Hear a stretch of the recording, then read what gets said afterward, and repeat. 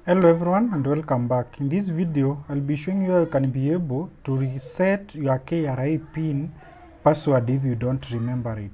So without wasting much time, let's get started. First of all, open your favorite browser. Then at the top here, write ITAC, this one, this link. Then enter your KRA PIN here.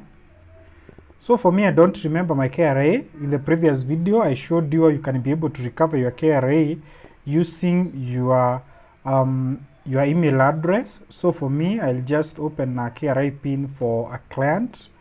I'll copy that KRA and paste it here. Then uh, the next step is continue. So for the password, I don't know the password that this uh, this person used.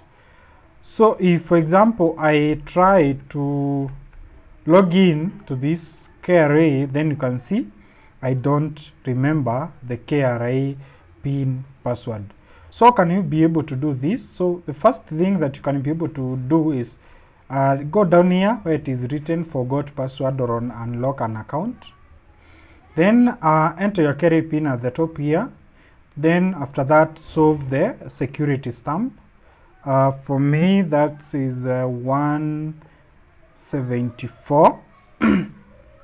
then click submit. So it will tell you operation successful. Your password has been emailed to you. So open your email. So after opening your email, you realize that KRA have already sent you the password down here. This is the password, the new password that you'll be using. So for us to log in, so we go back first, then enter our KRA PIN again.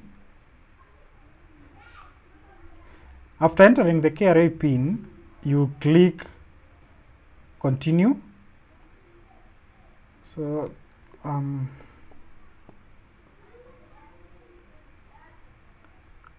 uh, take this password and put it here then solve the arithmetic problem.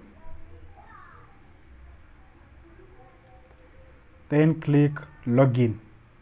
So since you did the reset of your password you are supposed to enter the old password again. Then enter a new password.